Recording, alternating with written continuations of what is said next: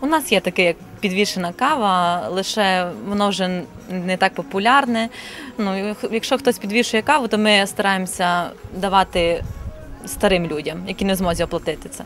Задум гуманий, от тільки з утіленням дещо не склалось. На початку, коли акція тільки стартувала, в одній з центральних міських кав'ярень каву підвішували чи не щодня.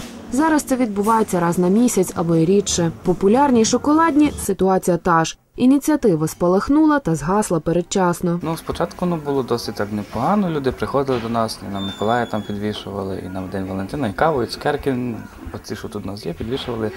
Ну, потім, як то кажуть, попит на це впав. Ну, Помалу, помалу. Потім десь раз в тиждень, раз в два тижні, може раз в місяць почали приходити. Ну, останнє, якщо чесно, я вже не пам'ятаю коли. Дуже давно, ще зимою, напевно.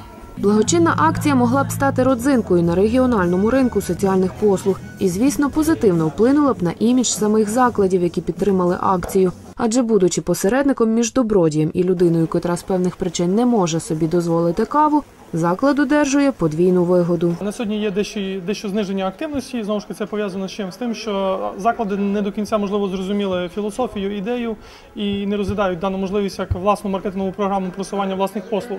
Адже е, людина, яка оплачувала послуги, були саме клієнти, а не заклади з боку е, свого бізнесу.